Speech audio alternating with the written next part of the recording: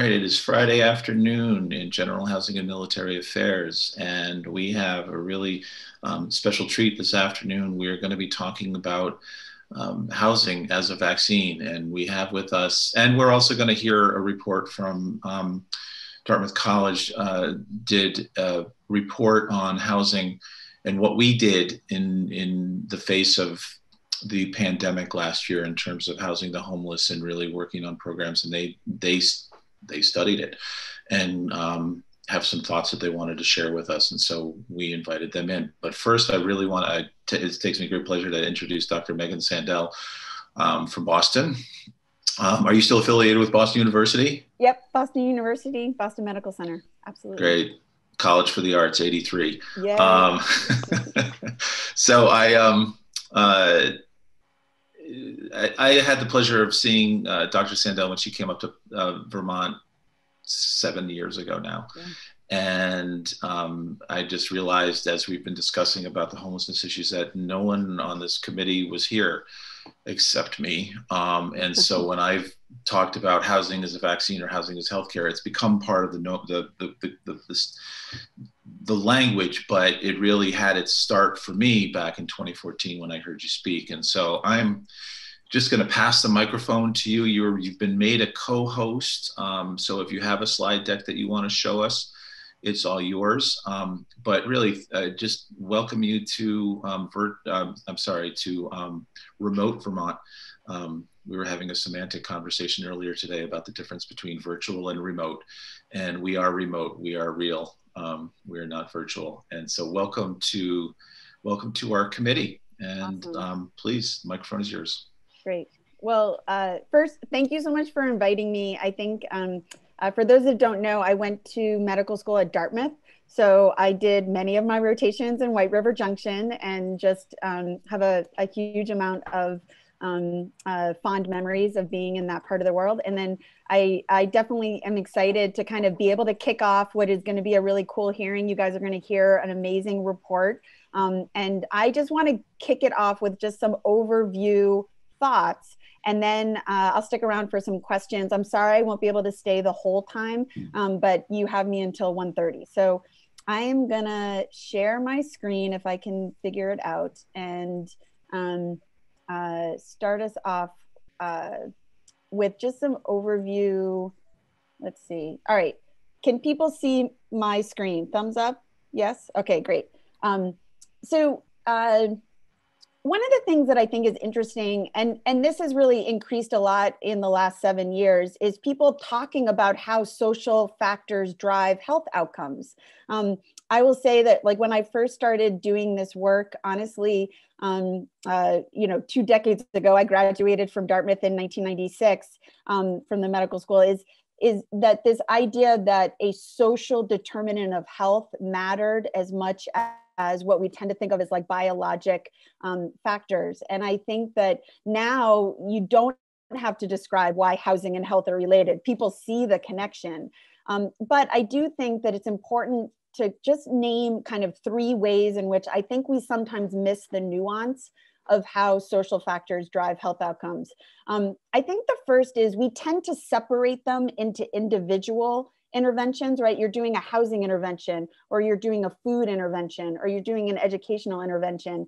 And I think that we have to understand that these social factors are interrelated, that, that oftentimes when you do um, something around housing and food together, you can be more synergistic. And so I do think one of the cool things that you guys did in COVID response was you were really multifactorial. And I want to applaud you for that. I think that that means why you were so much more effective um, and why your case rate and your infection rate in the state are so much lower than other states. Um, I think the second is, is that we tend to think of them individually instead of system wide and thinking about systems and policies. And so again your the ability to think beyond just an individual level intervention but starting to think about system change i do think becomes really important. Um, the last thing is that uh, there are a lot of historical reasons why certain groups have worse housing outcomes you know histories of redlining and systematic um, uh, disinvestment in certain communities. And so it's going to take a while to undo those and we should put kind of an equity lens on it. I'll kind of end with the kind of an equity concept but i think that idea of not splitting things apart thinking about multifactorial together thinking on a system change i think is really important.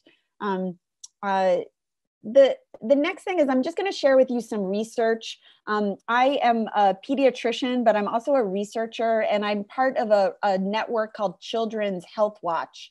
And uh, Children's Health Watch was founded uh, over 20 years ago by a group of pediatricians who were really worried about a policy change that was coming, which was welfare reform. And we're treating already kids with failure to thrive. And now we're really concerned about how was this policy going to potentially change the outcomes of young children and their families. And so, um, what started with mostly focused on food insecurity now also looks at other common hardships, right? Like housing instability, energy insecurity, healthcare cost trade offs, and the health and development of both kids and their parents. And so, what's interesting is we started to look at how three forms of unstable housing were associated with the health and development of both caregivers and their children. And so this is kind of a wonky slide. Um, for those that want to get the wonky um, report, I'm happy to send you the article in Pediatrics in February of 2018. But what we looked at was we looked at three forms of housing instability. The green bar you can see here is multiple moves. So that's where we asked someone, how many places had you lived in the past year? And if you answered three or more, it implied you had moved twice at least. Um, the purple bar is that we asked, were you behind on your rent in the past year? And then the blue bar was reporting that you had been homelessness, you had, been homeless in the lifetime of the young child, a child uh, zero to four. And so what you'll see here is the red bar is that you answered no to all three of those.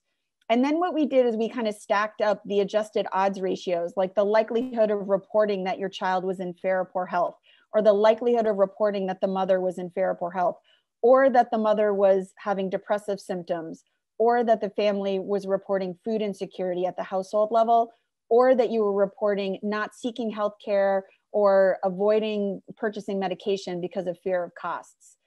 And so, what's striking here is that I think we knew that homelessness was bad, right? That blue bar, right? 50% increased risk of fair or poor health, 100% increased of fair or poor health in the mother, 200% increase of it in maternal depression, fourfold increase in food insecurity, fourfold increase in healthcare cost trade offs. What shocked us was the families that were behind on rent, that purple bar, looked just as bad. And so, as we're thinking about this upstream approach, I think it's really important for us not just to talk about ending homelessness, but we have to talk about ending housing instability if we are going to be able to achieve that full kind of housing vaccine concept of being able to be healthy. Um, I think the key here is that where can we see the cost savings in the system? And so I don't have to tell you guys, you, you already are utilizing, you know, University of Vermont has been utilizing being able to help homeless patients go to a respite or a, a, housing motel as a way to reduce healthcare costs. This is data from Boston Medical Center, where we looked at our um, Medicaid members in our accountable care organization, and the top 3% of people that used 40% of the dollars, right? When we looked at that top 3% group, half of them were homeless and housing unstable. And so they were just cycling in and out of our emergency department and our inpatient unit. Um, and so I think it's really important to think about healthcare costs. But I also want us to start thinking about two generational costs and that there can be ways in which we can actually look at costs, not just in the individual level, but for everyone living in the household and thinking about it not just in terms of avoided you know healthcare utilization physical health, but also mental health improvement and potentially educational improvement among children. And so you remember that bar graph that I showed you two slides ago. We actually at Children's Health Watch took that, that published paper and then tried to model what would be the avoided costs among families with young children over a 10 year time period if everyone had a stable home.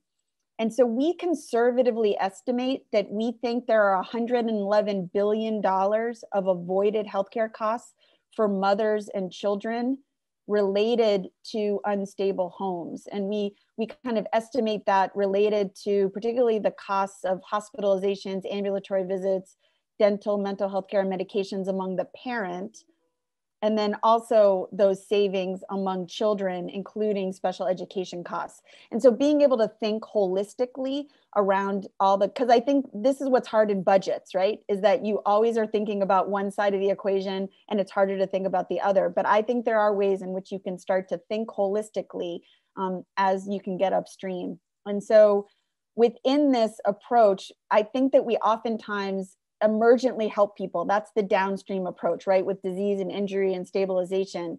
But what are the ways in which we can move upstream to prevent those costs? What are the ways in which you can start to move from emergency stabilization to permanent supportive housing and being able to link together the capital, the operating subsidies, the service costs in ways that I think can be really revolutionary.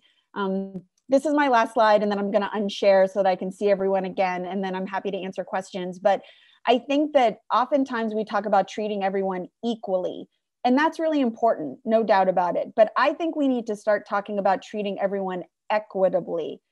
And so this is my my favorite diagram. There are a lot of different diagrams about the difference between equality and equity. Um, people have seen the ones probably with the kids walk uh, watching the baseball game or other things. But I like this one because I think it's pretty simple to understand is that if you have people that start from different places, they're, they're different heights in this kind of uh, um, diagram, and you treat them all the same, you give them one box to stand on, only the tallest person gets to that apple of opportunity in the tree. If you treat people equitably, you give them what they need to be successful you give the tall person one box. You give the medium height person two boxes. You give the shorter person three boxes. Then they all get that same fair shot. So the tension here is is that um, in order to get people equitably to the same fair shot you have to treat them unequally. You need to give some people more. And and you have to feel okay about that because we know that people didn't start from different places by accident we know systemic racism and oppression and how our economic systems are designed are part of the issue. And so, in order to change that situation, we have to design an equitable system, not an equal system. And we have to be able to think upstream and not just downstream. And I really think you guys in Vermont have all the ingredients to show this is possible. And so I'm really excited. I'm going to stop my share and get to see everyone now. And, and I would love to be able to answer questions.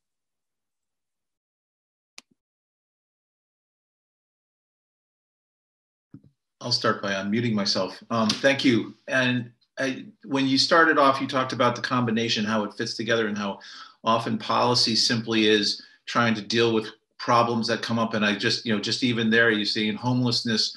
I mean, for us, homelessness, affordable housing, but then there's food insecurity.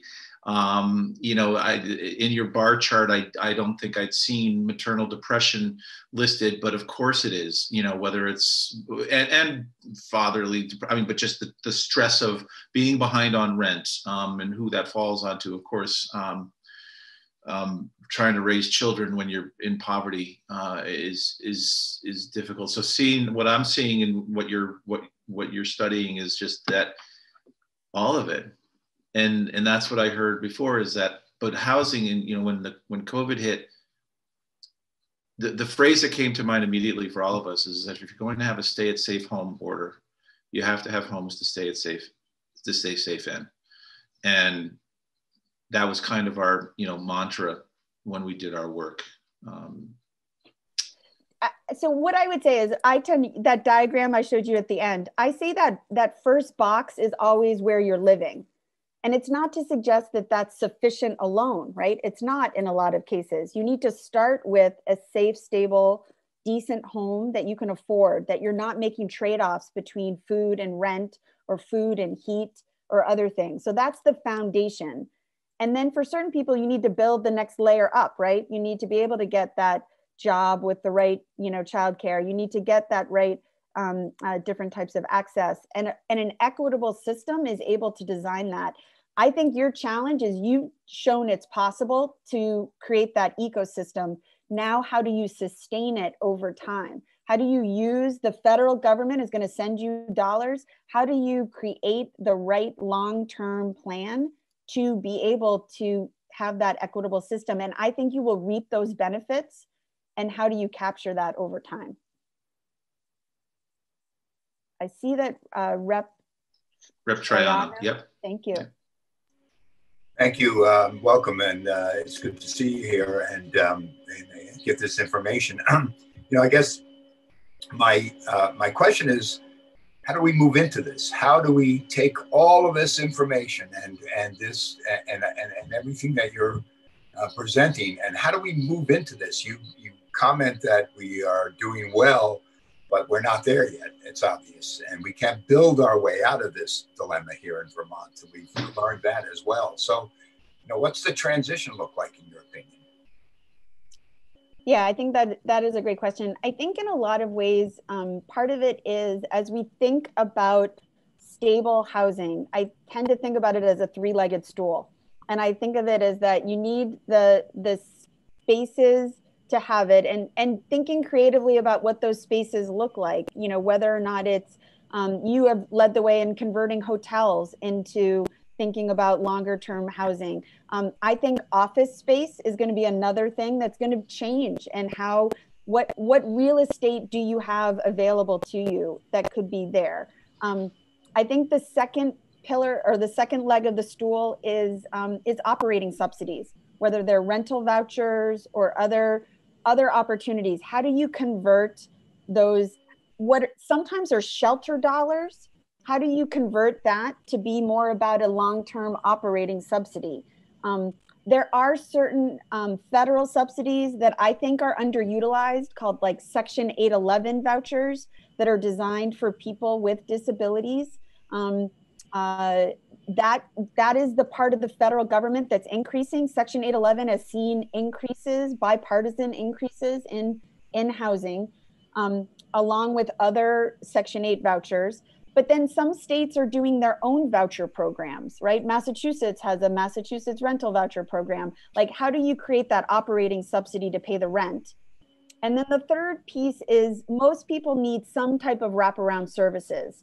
And so, what are the ways in which you look at your um, uh, you know, people call it like we call it Department of Children and Families. Some people call it Department of Social Services. How do you look at that for families? How do you look at um, uh, other homeless services? How do you look at honestly a lot of medical services are are you know navigators, community health workers. How do you pool all of those services so they're not duplicating, they're efficient, and then how so how do you make that three-legged stool work?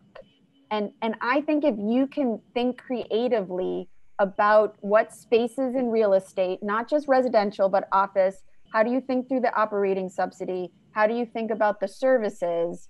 Um, I that's how you create the braided funding in order to sustain this over time.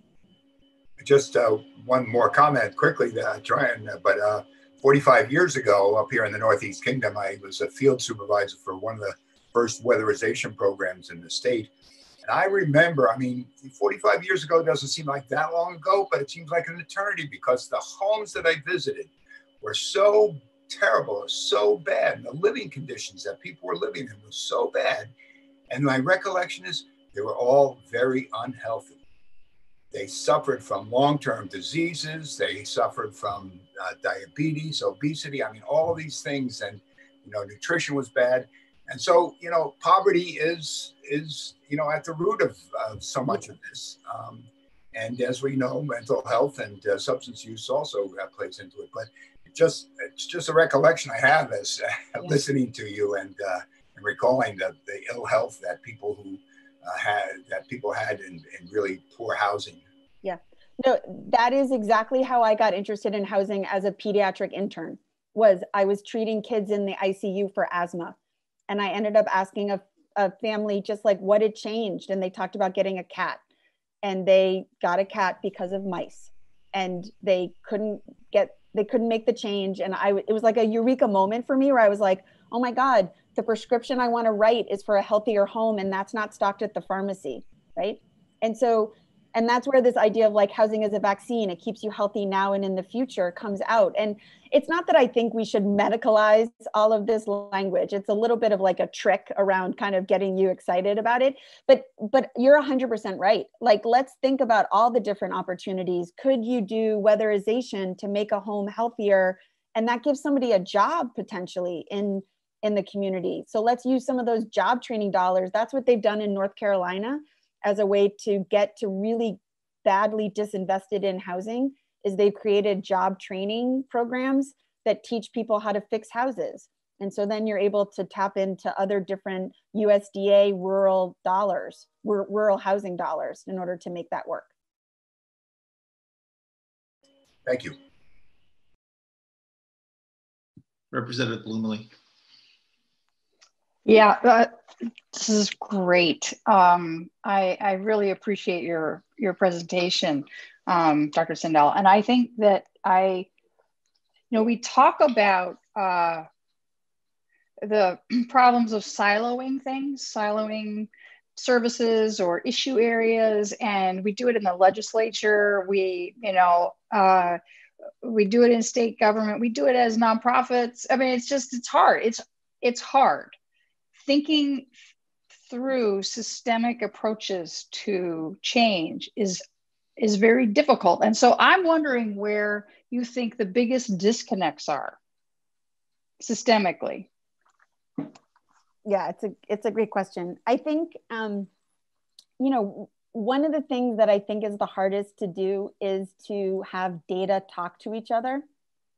Um, because what happens is that oftentimes the family that um, the school is worried about, the family that the Department of, of say Children and Families is worried about, the the the family that a family practitioner or a health system is worried about are the same families. Like what I sometimes say is like, I think our knee jerk reaction is always to say, let's get somebody another social worker or let's get someone another service provider when i say like the families that i are the highest risk families for me they do not need another case manager. They have plenty of case managers. What they need is a coordinated system. And so i think oftentimes we don't spend enough time on um, data systems so that we can create those shared case lists so that we deduplicate a lot of effort. And that's where i think some efficiencies can be found honestly.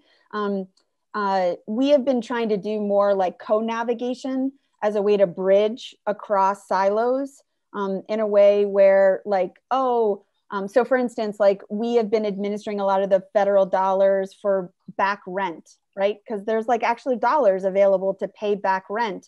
But what we're finding is, is that typically when you just give someone the application, it takes about 45 days to get the application and the check to the landlord. But if we have a co navigator, somebody who's trusted by the family, who knows the family, helping the worker fill out the application, we can get that down to 21 days. Right.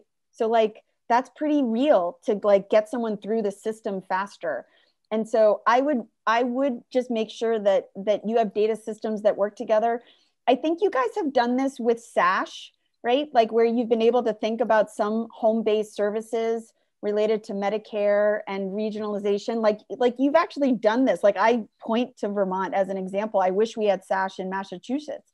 Um, I'm trying to get SASH in Massachusetts, but I think this, I, I, I would focus on making sure that you find the silo efficiencies by trying to get data systems to talk to each other. That's the first step before you then do the program planning, before you create the quality improvement.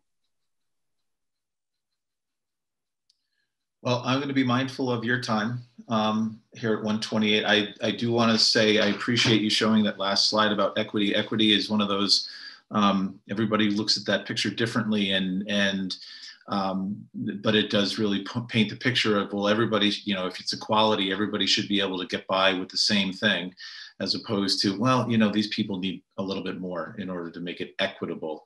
And that's, um, that's really we could probably philosophize on that for quite some time um, the differences between that. But I, I, any final words for us? I mean i just um, i wish we could have you for well listen making it virtual so i don't drive five hours is awesome. So i can come back anytime. And then um, i will say i i'm i'm sorry i can't stay to listen. The dartmouth report and the vermont legal aid report are great. So like i'm i'm excited for you guys to hear more from the authors and then um, yes whatever i can do to be helpful as you guys think about this journey. In many ways if vermont is successful then i get to use that in massachusetts and in other states. So um, please uh, let me know how i can stay in touch. Erhard can obviously find me anytime.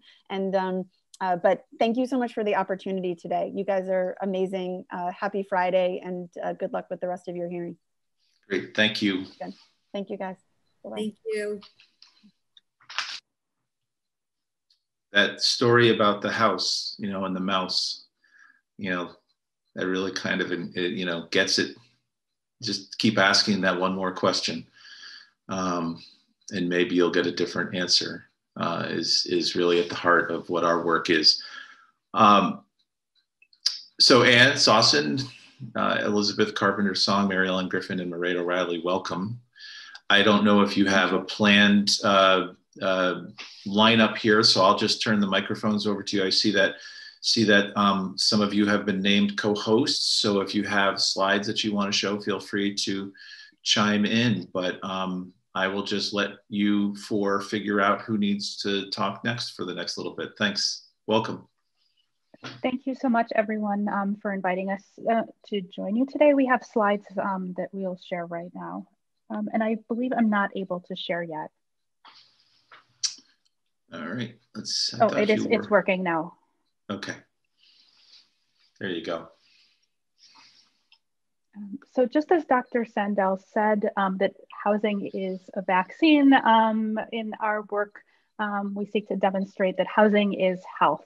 Um, and we'd like to talk to you a little bit about what Vermont did and how it can build on its success in using housing policy um, as a tool for addressing other health challenges in this state. Um, just to introduce myself and others that are part of the team, I'm Anne Sosin. I'm one of the co-leads on research on COVID-19 and rural health equity, along with Elizabeth Carpenter Song. And we're joined um, with Mary Ellen Griffin and Mairead O'Reilly from Vermont Legal Aid um, today. Um, as you know, um, Vermont has led the US in its response to the COVID-19 pandemic um, and use of policy has been a critical and often underappreciated component of its, the state's approach in responding to the pandemic. The, Vermont enacted one of the country's most comprehensive eviction moratoriums, uh, provided rental relief for landlords, expanded its motel voucher program to house its homeless population, and has had a moratorium on utility shutoffs. As Dr. Sandel has said, we've known for a very long time in public health that housing is a tool for advancing population health. Um, we know that housing is a key social determinant of health, and there's a really strong base of evidence linking housing to a broad range of health conditions, including other infectious diseases, respiratory illnesses, diabetes, heart disease, substance use disorder, uh, and mental health. Um, we in our work also use the framing of health equity. We believe that if we're going to address these um, persistent health disparities, then we need to devote disproportionate resources um, to these challenges. Um, in COVID, the COVID-19 pandemic has really foregrounded the relationship between housing health in, in, in, a wide range of ways. We know that housing, along with occupational status, is one of the two key risk factors for COVID-19. Um, across the country, we see over and over again that COVID 19 has concentrated in congregate living settings, including nursing homes and prisons, um, in multi generational households, and in crowded housing. Housing household crowding is much more important than neighborhood density or urban rural status. And this is something that's often underappreciated. Even in our rural context in Vermont, housing is one of the key risk factors for COVID-19, and this comes out very strongly in early data from the state. Across the country, there's growing evidence of the importance of housing policy in controlling COVID-19. States that maintain their eviction moratoriums after the federal moratorium lapsed had lower rates of infections than those that maintained theirs. And there's also a growing recognition that housing represents a primary tool of pandemic control, not something that's secondary or just useful for protecting vulnerable populations, but something that's really important for controlling overall transmission rates at, at population level. Um, in Vermont, as you know, um, housing um, support for our homeless population has been critical in protecting our most vulnerable Vermonters. Elsewhere across the country, um, the uh, shelters saw prevalence of up to 66%. Um, Vermont, to our knowledge, has seen less than six cases, less than 10 cases of COVID-19. Elizabeth? Thank you, Anne, and thank you all for the opportunity to share our work with the committee today. As Anne mentioned, um, we co-lead research and educational programs at Dartmouth that are focused on issues of health equity, particularly in rural communities within the United States. And as part of this work, in March of last year, we launched a study um, that aimed to examine the impacts of the pandemic on uh, rural health systems and communities in Vermont and New Hampshire. And to date, we've been able to conduct interviews with over 80 stakeholders. Um, and these stakeholders represent um, many different sectors, including health systems leaders, healthcare providers, um, members of social service organizations and housing programs, mutual aid groups, town and city governments, and schools. We really wanted to cast our net wide in terms of documenting in real time the impacts of the pandemic.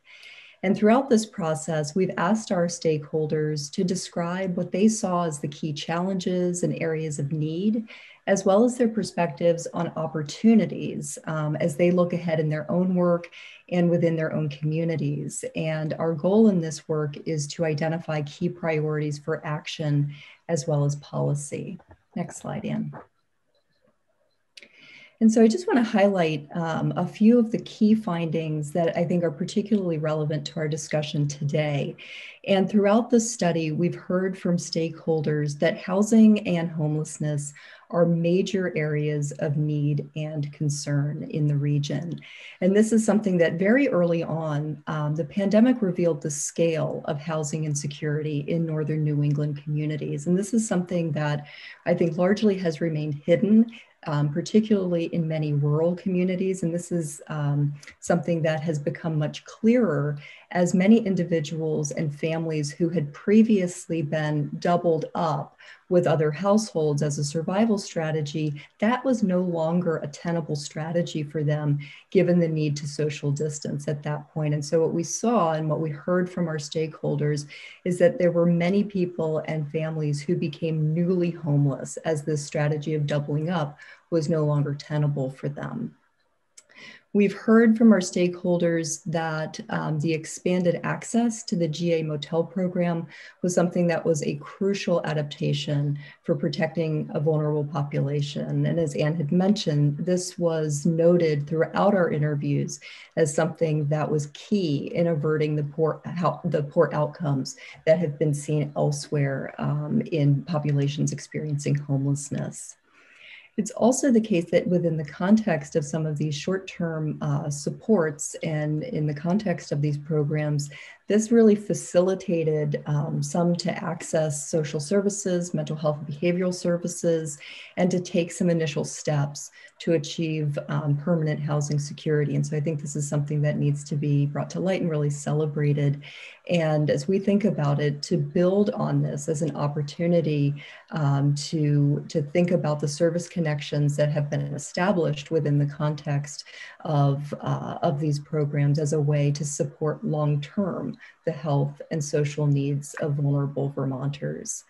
Um, and, and finally, just a, you know, something that has emerged as a consistent refrain um, throughout our interviews is that um, there is significant unmet need um, for housing. And so um, the, the need for additional housing units, um, the need for uh, affordable housing units, uh, particularly the, the need, as Dr. Sandel was noting, the need for supportive housing and those types of wraparound services are really crucial, as well as improvements to existing housing stock and what we were just talking about in terms of thinking about weatherization and things of that nature um, to address some of the, the poor housing um, that, is, that is a part of our communities here in Vermont.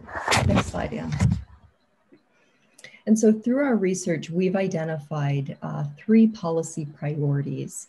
The first is to maintain uh, the pandemic housing protections to address the immediate needs for housing and security within Vermont. The second is to expand uh, supportive housing and those wraparound services. And finally, the need to invest in significant expansion and improvement of affordable housing within the region. And so we've, we are delighted to have partnered um, with our friends in uh, Vermont Legal Aid to translate our findings into actionable policy recommendations. And I'm gonna turn things over now to Mary Ellen Griffin, who will describe uh, in more detail the policy priorities and recommendations. Thank you. And thank you to the committee for having us. It's really great to be here. I also just want to say thank you for what you've been able to accomplish so far in terms of keeping Vermonters safe, safely housed during this pandemic. It is really, really amazing what Vermont has done in this situation. And um, it's just really worth taking a look at it and saying thank you for that. Um, the eviction moratorium that was enacted by the legislature has been rated very highly by all experts. I think we're ranked fifth in the country for how effective our eviction moratorium has been. It has worked to really reduce the rate of eviction, especially eviction into homelessness. The eviction filings had been at about 150 a month and they went down to 50. Um, the eviction moratorium, which I, I, always think of as the eviction moratorium, it also extends to foreclosure. At the moment, it's not addressing um, property tax issues, which is still a problem, but it's, it's huge in terms of keeping people housed. Um, a crucial part of the eviction moratorium was the back rent program. The rental housing stabilization program supported almost 10,000 households to um, stay housed and to keep those landlords in business. The one criticism that experts make about our moratorium is that it, it sort of has a sudden end. When the, when the emergency comes to an end, um, the eviction moratorium and the foreclosure moratorium will end. There's not really a soft landing there there's just, and we don't know, even though the eviction filings have gone down, we don't know how many people have waited to file the evictions until the moratorium ends. So there is a risk that we're going to see a surge of evictions when the state of emergency ends. Um, next slide, please, Anne. The other really crucial part that everybody has mentioned um, is the GA motel program. Um, the short-term housing protections that this allowed um, brought greater stability for many people, not just people who are, uh, who are facing homelessness, but it meant that it kept our rates low. So we almost doubled the number of people that were using emergency shelter. The GA motel program started off in March. You can see on the chart on the right, if you can see those tiny numbers, at about 200, and it, it went up to almost um, over 1,800 households by uh, this month, by last month. Um, the other issue that the motel program faced was that it was hard for people to move out. People couldn't find permanent homes. So the length of time, which had already been at a record high before the pandemic, went has gone even for even higher because people, some people have, but very few people have been able to find permanent homes to live in. And next slide, please. Um, I think keeping those two main um, immediate housing protections in place during the pandemic are really crucial. They've really worked to keep people housed or at least stably sheltered during the pandemic. And we've really seen the results in terms of reduced numbers of COVID. But as we keep those in place, um, I think as Representative Stevens said, it's like a pilot project. Which pieces of this can we keep? How can we keep some measure of this housing security moving forward? Um, I mean, there's a lot of ideas to explore. There are other ways to reduce the eviction rate. We have the federal money for the back rent program for the next year, and that's huge. But can we have a back rent program that's going to extend past there?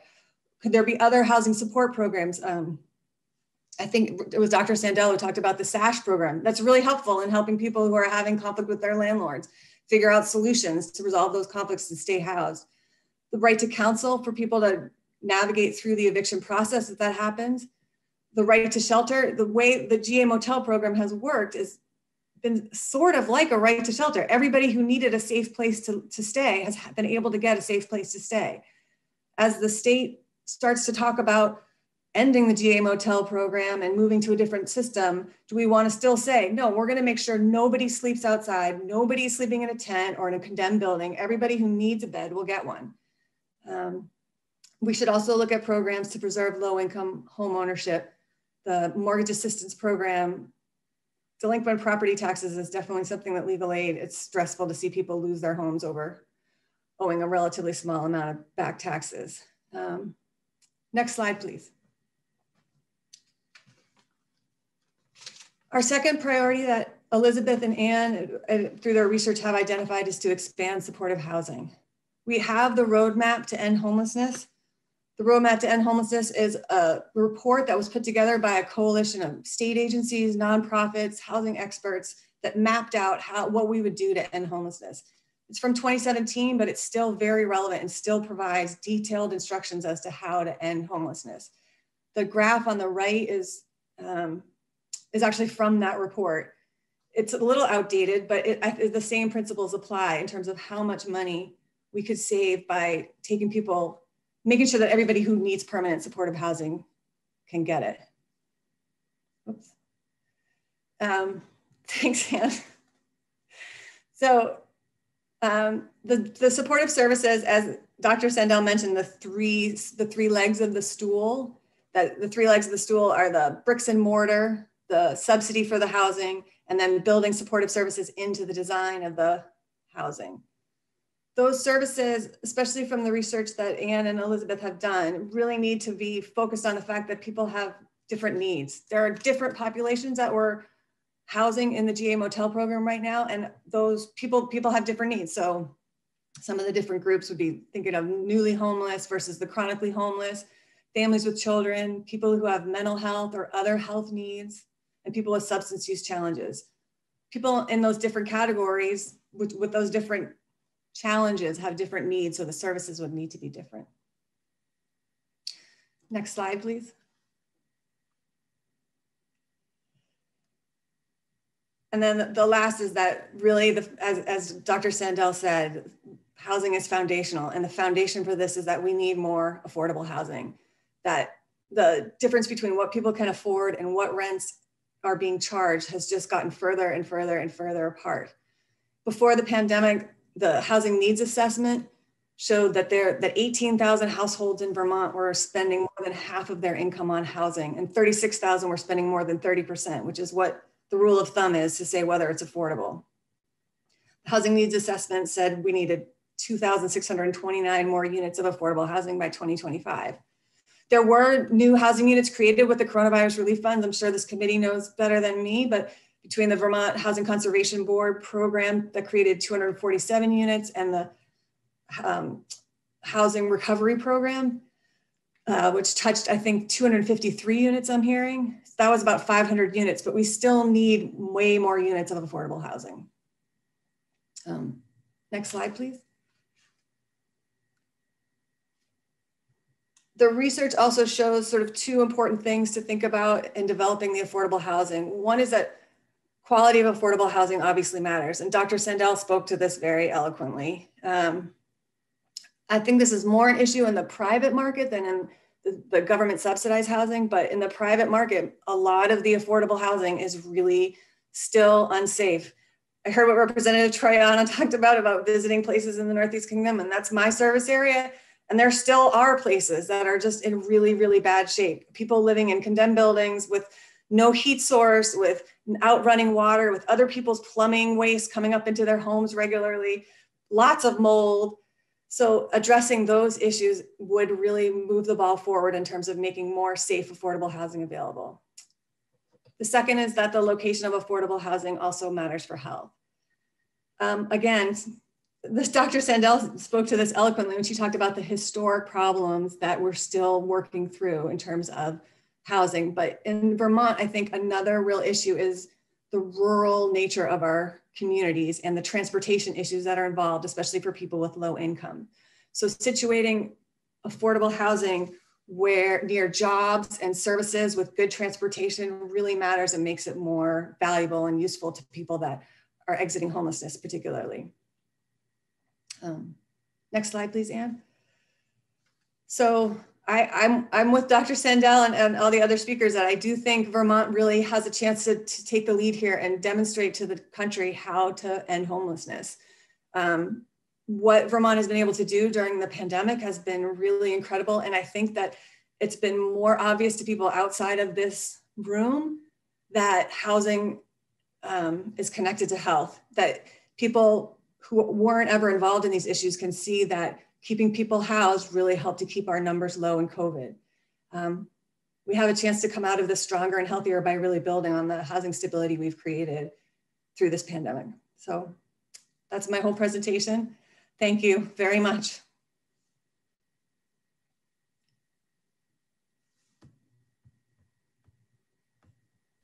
Representative Troutman.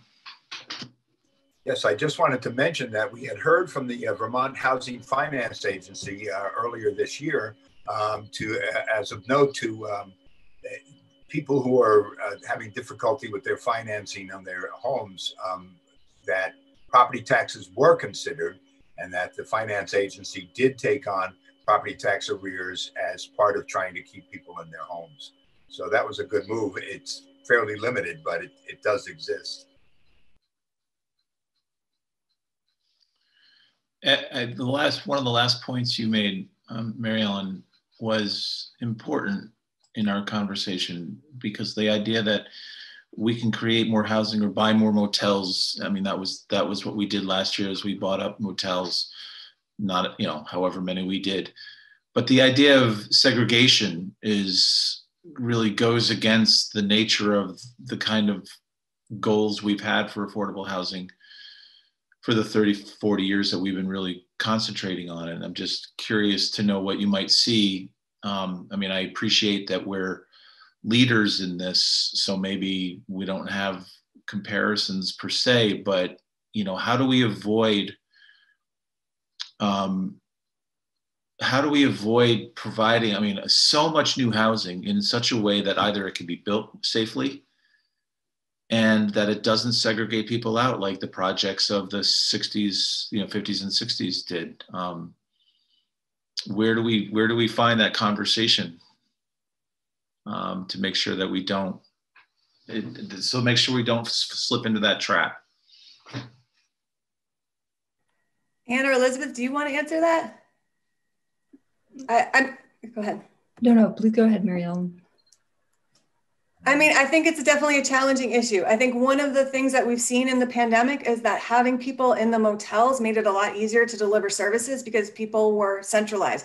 But having people centralized also created its own set of problems that we know having people spread in the community um, and, and, and sort of it's challenging because so I think part of it is what the research is showing about the need for heterogeneous to sort of address heterogeneous populations that different people are going to need different kinds of services. So we need a bunch of different kinds of affordable housing. Some people just need affordable housing. Their real problem is they're poor, they can't afford their rent, they need a place they can afford. Some people need a place that has mental health services right there on the spot or substance abuse services or different kinds of services for them there.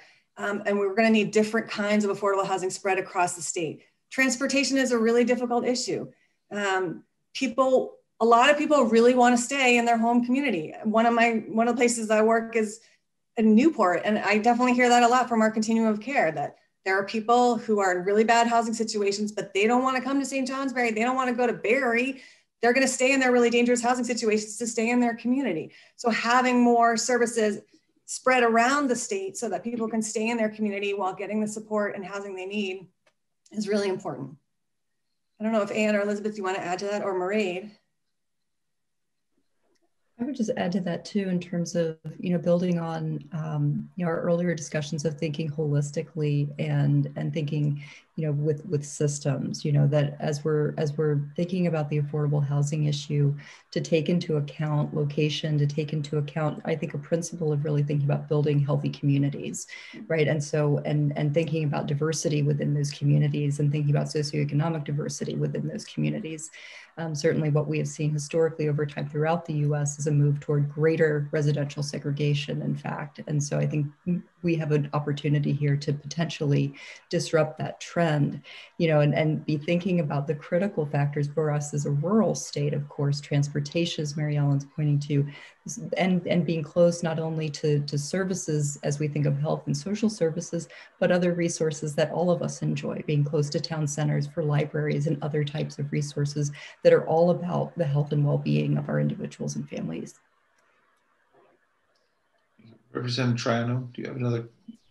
I just uh, thinking in terms of St. Johnsbury, where um, you know, in the 19 early 1970s or late 1960s, I guess it was that uh, what was known as Moonlight Ridge was built. It was a low-income housing project five miles out of town, and you know, most of the people there had no transportation, and they would, you know, you would see people walking that distance into town or calling cabs that they can't afford.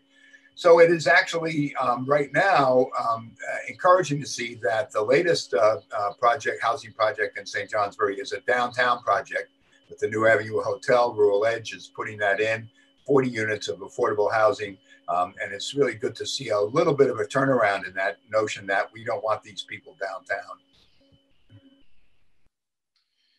A question that comes up when it's when we talk about housing at this um, at this level. I mean, beside you know, from starting from not having housing to um, perhaps transitional or safety housing to getting into affordable units and then and then above, right? And and and we're really just stepping up the economic ladder when we try to draw it that way. But when we talk about the private apartments that are available, when we hear stories of mold and of, of, of really difficult, everything that Marianne described about the, the, the description of, or of these apartments that may be available and used and, and habited, habitated right now, um, where people don't want to leave because they don't think they can find a place that's cheaper. What the rehabilitation program we put into effect sort of started to address using state dollars to help private owners. But how how do you inspire somebody who either can't afford or chooses not to update their apartments and make them safe and still charge the rents that they can charge because of the marketplace? I mean, is there is there um, a magic? Uh, it's not magic. I know it's not magic. Um, but has there been a conversation about how do you again how do you work with with private owners who think that their apartment's just fine? Perhaps. Well, I think there's a bunch of different landlords in that category. And I think it's a very, very small percentage of landlords, right? Most landlords out there are doing a really good job and are maintaining their units. There are a few landlords out there who their business model is renting out substandard apartments, right? Like that's a business model that works for them. Why does it work for them?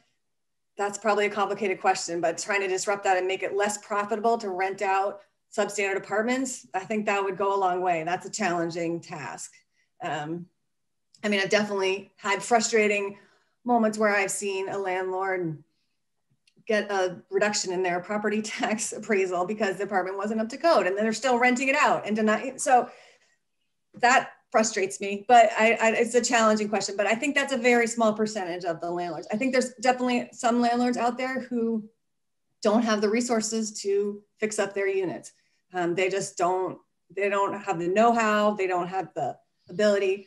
I think one of the things I get from the social science research, and maybe Anne and Elizabeth could speak more, but that one of the ways to combat this is owner occupied units, that people who own a fourplex and live in one of the units are more likely to keep it up. Um, and that that could be an interesting model to pursue, but it's, um, it's definitely a good question to ask, and I don't have a full answer. It's part of our dilemma period, you know, because you can't just have only affordable on a HUD based system. There's not enough money in the world. to do that. Elizabeth? If I could make one quick plug just for the Rental Housing Advisory Board's recommendations, which was to gather more data, which is one of the things Dr. Sandel said, that if we had more data about where the apartments were and what condition they were in, I think it would make it easier for policymakers to know how to address the problems if we knew where all these problems were. Right now, the town health officer reports are in every town health officer across the state of Vermont's offices. And I can get them by emailing, but it's hard for a policymaker to get a full picture of where are the problems and how widespread are they and how severe are they? Elizabeth? I think that's that's excellent, and I think that you know just thinking about building on what Mary Ellen was saying, thinking creatively about what are the with with this particular issue. I think especially what are the levers of accountability, you know, and that can exist in terms of I think owner occupied buildings is a really interesting one, but other other things that may also exist at a community level as well, um, in terms of creating um, systems of accountability um, and put a little pressure on on you know that subset of landlords with with that as their business model. Um, we talked about sustainability. Um, again, we know that the money that we were able to allocate to VHCB to help local organizations buy motels or, you know, and, and turn them into micro apartments um, was expensive. I mean, it was, and that money came from the federal government. And we, know, we know we have, we, I know we have um, different ways of funding things that might make it a little bit less expensive to the tax, you know, to our tax collection. But um, what again is it simply political will? I mean, again, how do we build the resources to be sustainable? We're not going to keep getting federal funding. We know that. Um, I mean, I'm heartened that we have the funds that we have to maybe build a rental program for people at the, at, you know, at the reach up level who can, you know, we might be able to help them with rent for nine months or a year. Um, but that's not sustainable. So it's, and so finding sustenance, finding a way to do that, how, you know, any words of wisdom for us? Or any thoughts on that? And that's from the committee too. Um, I mean, I'm really proud of the work we've done, but I understand too that unless there's funding sources, we're not going to be able to get close to that 2,700 units by 2025.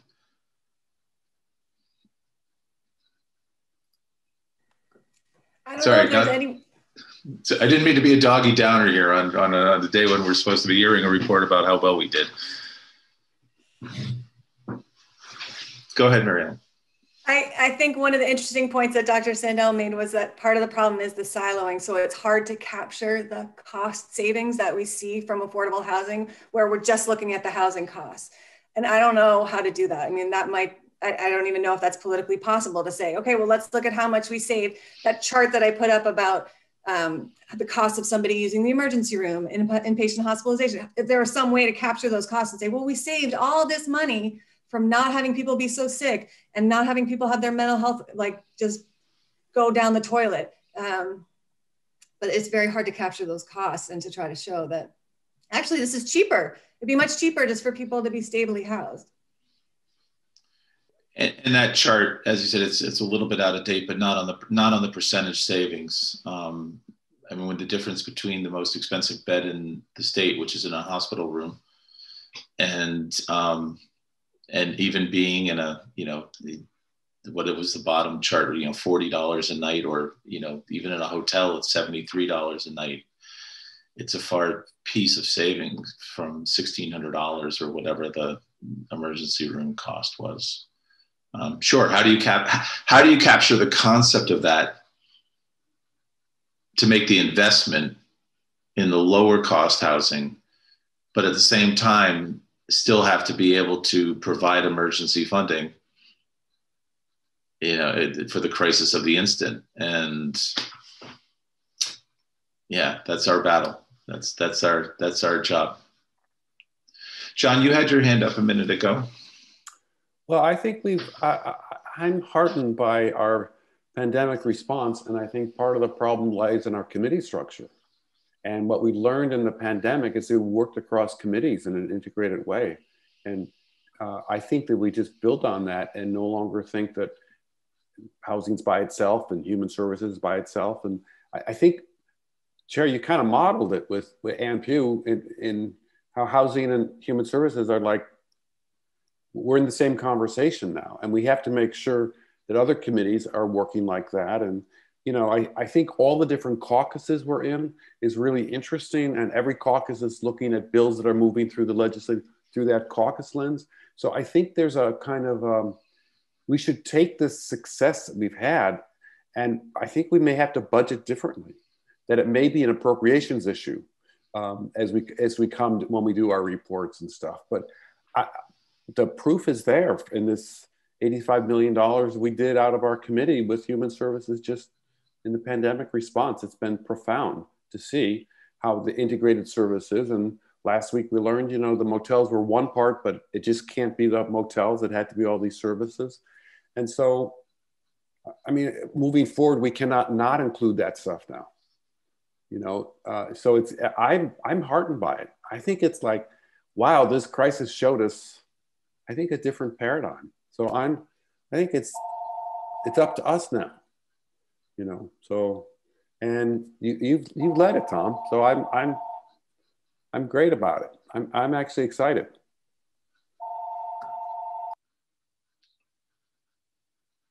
All right. Further, um, can, can I actually go back to the beginning um, with Anne and and um, Elizabeth? Can you talk about your affiliation with Dartmouth and what the center is?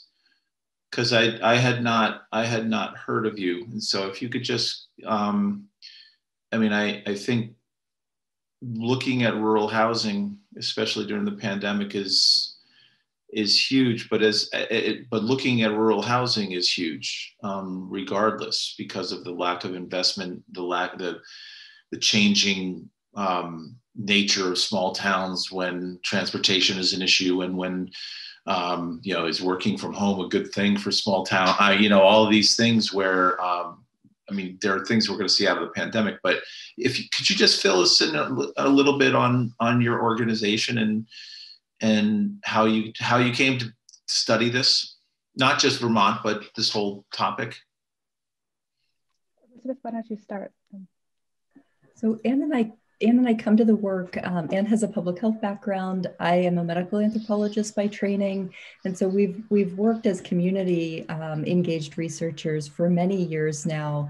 Um, what is a medical anthropologist? So I, I like to say that I have one of the best jobs in the world. That I have the privilege of going out and spending time with individuals and families, learning about their everyday lives, and a lot of what I focus on, on um, uh, are partnering with marginalized families, so families impacted by uh, housing insecurity and um, and mental health issues. And Anne brings a background in particular with uh, global health um, and has recently turned her attention to issues of rural health equity. And so we have come together to really try to think about how we can pull focus um, and generate evidence um, in terms of you know identifying areas that uh, for action as well as for policy recommendations through the work that we do.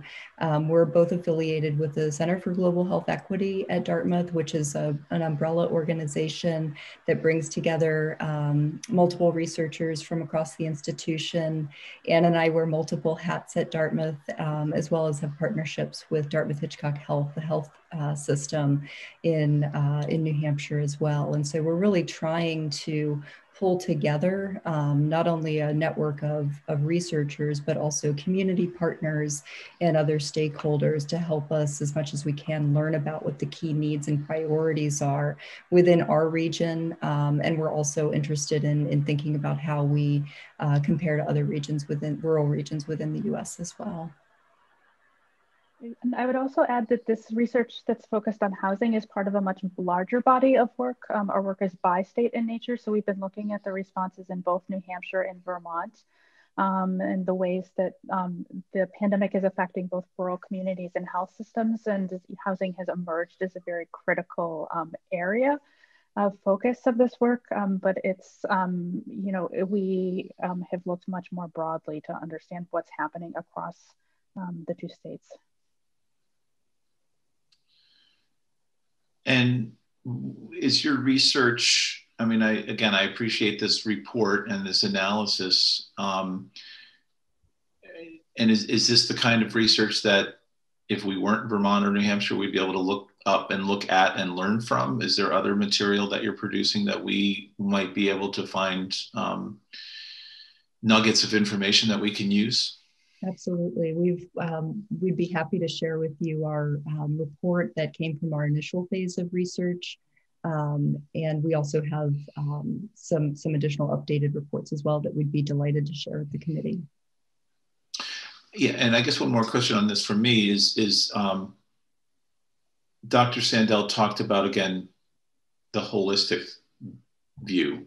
And so do you take that? I mean, yes, you're visiting families and you're seeing what's on the, the ground, but are you, you know, I mean, I, I mean, I could just, my brain can just go spinning at, at, you know, well, what do we have for SNAP benefits? What do we have for, um, food banks or you know availability? What do we have for um, heating oil uh, in our in our neck of the woods? What do we have? You know, so seeing it holistically, um, yet we're still in a world that doesn't view it holistically.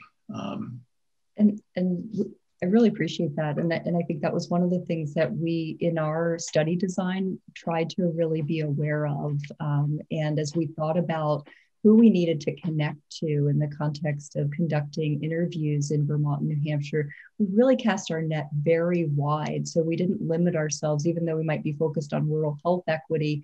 We knew we needed to talk to people who were outside of the healthcare system, outside of being healthcare providers. And so we've had an opportunity to really connect with, you know, a, a wide cross section of community members, various um, health and social service organizations to try to document those different pieces of the puzzle. The other thing I would say too is that, I, uh, um, and I think our earlier research really points to the ways in which, in both New Hampshire and Vermont, um, the success of collaborations and networks and partnerships in our region. Um, and that was something, again, that I think we already have some models that we can point to um, in terms of breaking down some of these traditional silos. Um, and so there, I think those would be also some things that may be helpful um, for the for the committee to um, to to have access to some of the the research that focuses a bit more broadly than than just housing as well. That's great. Thank you. And Mary Ellen, your focus is is up in. You said you're based in Newport or in the Kingdom. I work out of the St. Johnsbury office of legal aid, and I mostly cover um, Caledonia, Orleans, and Essex counties.